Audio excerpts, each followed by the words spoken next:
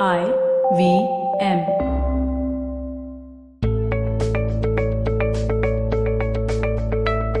And we are back with a brand new, positively unlimited dose. Today's episode is W for waiting. Waiting versus waiting. I'm showing you two sides of the same coin in this episode. But before I go on, write to me on Chetna at circleofpositivity.com if you want me to address a specific block you are struggling with. We're completing the second series of A to Z of positive action soon. So send me your troubles and I'll give you a perspective that can help you overcome it. You can connect with me on Instagram too. My handle is Positivity Angel. Oh, and just by the way, this is our 50th episode. Thank you so much for listening in and sending me such lovely messages every single week.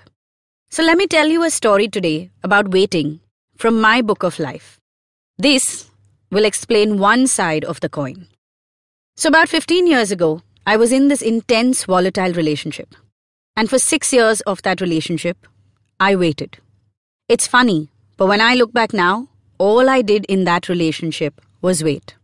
Wait for him to call me, wait for him to meet me, wait for him to come home, wait for him to set a date to get married. Needless to say, one fine day I put an end to the waiting and that relationship. This is one kind of waiting where we give away our power and we are waiting for our desires to happen to us. This is a not so comfy space, restless and full of dejected energy. The other side of this coin is, well, waiting on purpose with faith.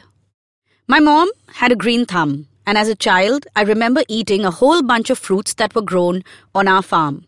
She had planted mango, chiku, banana, papaya, jackfruit, and even, you know what, those uh, love apples, uh, what we call, I think, jamun.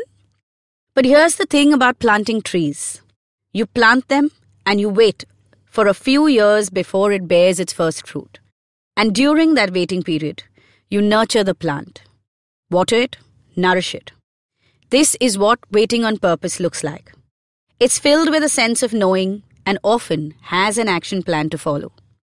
So now I want you to ask yourself Are you waiting for whatever it is that you are waiting in a powerless, helpless kind of way? Where nothing seems to be in your hands? Or do you know what's going to happen and by when? And right now you are just biding your time. Waiting of the latter kind, where there's a plan in place, well, that's the right kind of waiting. The former, the powerless kind, well, if that's your space, take one big leap and get out of it now. If you are waiting because you don't think anything is in your control, then fear is the core emotion that you need to tackle, and the way to do that is with the other F faith. I know that we have an episode called P for Pray. I think that was episode 16. It has some great perspectives and tips to stand in faith. But let me just repeat a perspective that I share very often on fear. Fear isn't a bad emotion, it's a misunderstood emotion. It has two core purposes one is to protect us, and two is to pull our limiting beliefs into the limelight. So while you are waiting, I want you to ask yourself this What limiting belief is this waiting revealing to you? The powerless kind of waiting is often stemming from limiting beliefs and lack of faith. Faith in what, you ask me? Well, it could be faith in yourself, in life, in certain people, or in God or the universe. However, you choose to refer to the magic that governs us. Respond to fear and not with fear, and you will begin to see the way out of this waiting. I'm going to say this again. Listen to it carefully. Respond to fear and not with fear. Yes, it's a tough decision. Yes, you'll experience pain. But in the long run, it will do you good. Let me also tell you this what is meant for you cannot pass you by. The only way it can is if you change your mind and decide that you don't want whatever it is anymore. So give this a good thought. Another reason you are stuck in this waiting zone is because you are somewhere subconsciously punishing yourself for the choices that you've made. Anger towards self, which is possibly leading to the belief that this is what you deserve or this is all that you are worth. No, my love, you are worth way, way more So quit the waiting. Get up. Get out. Move on. Move forward. Whatever you need to do to get out of this inertia and into an action state. Your life is worth living to the fullest. You hold the potential to live that full life. These aren't just words for me. I believe this. Even if I've never met you, because I see this phenomenon I call living our potential in so many of my clients just after a few sessions. And I witness transformation for a living.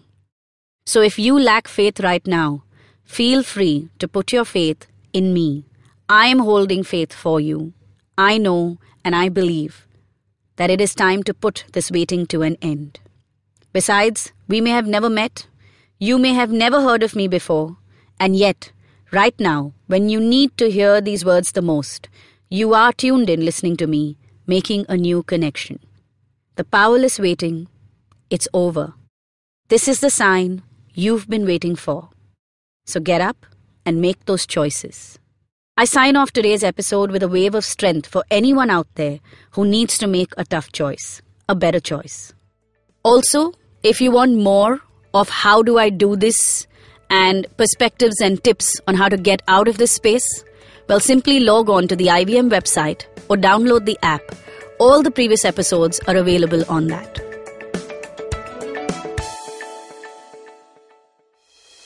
Hey everybody, we have a brand new podcast series by Bloomberg Quint called BQ Conversations, which covers a range of topics like business strategies, latest trends in technology such as cybersecurity and artificial intelligence, and also personal finance.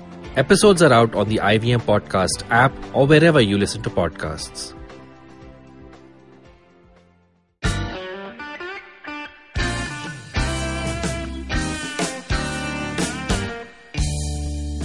Filter coffee is a fascinating beverage.